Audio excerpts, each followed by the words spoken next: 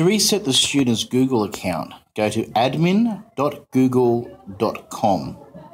That's admin.google.com. Once you're there, you can sign in using your school Google account. That's at claver.net.au. Once you've signed in, then you should be able to, it'll take you to your console. And in your console, you should be able to search for the student. You can use first name or last name or username. Choose a student. And on the right hand side, you'll see a reset password. Now, yours will, won't have as many options, but it's just reset password button. That's the little key with an arrow in it. So you put the new password in, press reset password, and the student's password is reset.